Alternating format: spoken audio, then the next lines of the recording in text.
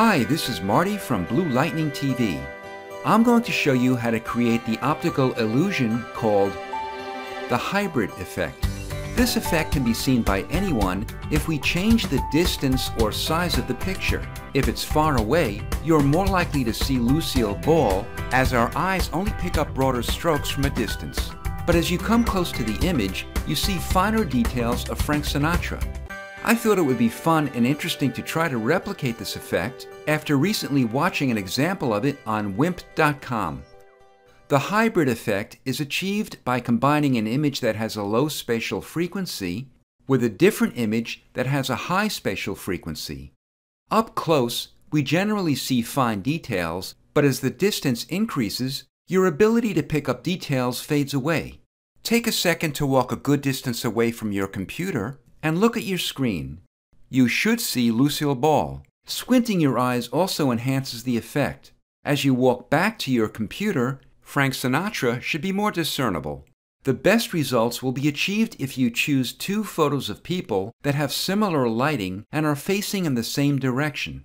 They can be color or black and white. For your convenience, I provided both of these images for you to download. Their links are located in my video's description.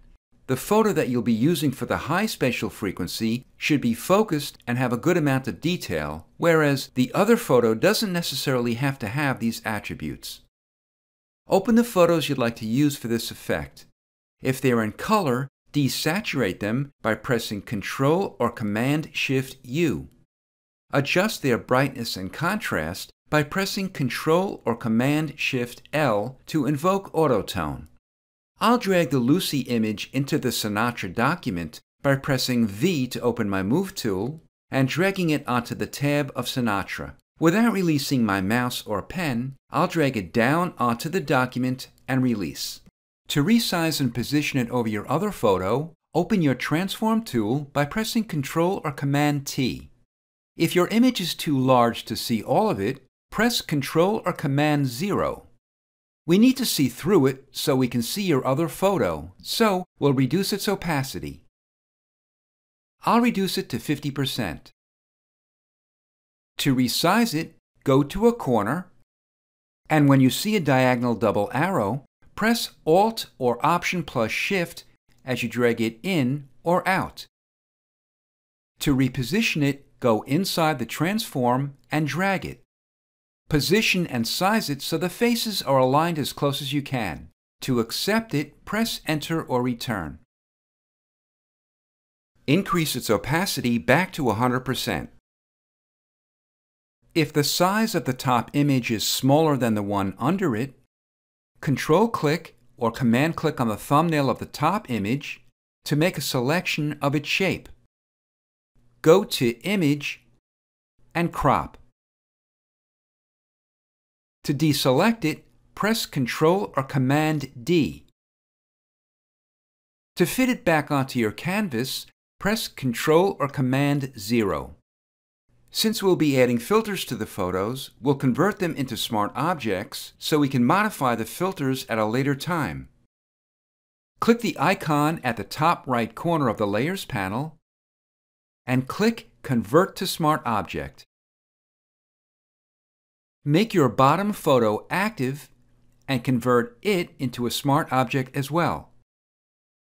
Temporarily hide your top photo and go to Filter other, and High Pass.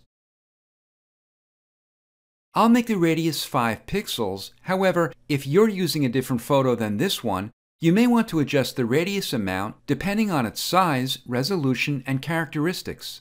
If you want to adjust the high pass filter later, just double-click the high pass smart filter and the filter will open again. You can adjust it as often as you want and whenever you want because the layer that you apply the filter to is a smart object. Hide the bottom layer and make your top layer visible and active.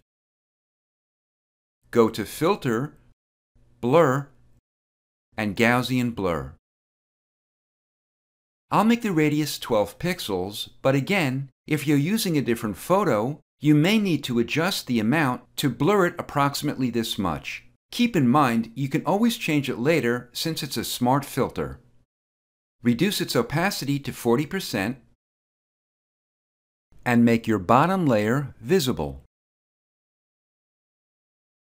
Click the adjustment layer icon and click Brightness Contrast.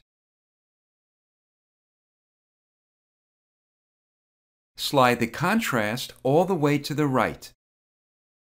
Your hybrid effect is now done. To see the effect, you can either walk a good distance away from your screen and try squinting to enhance the effect, or use the navigator to zoom out. If you don't see your navigator panel, go to Window and click Navigator. Slide it to the left or right to zoom out or in.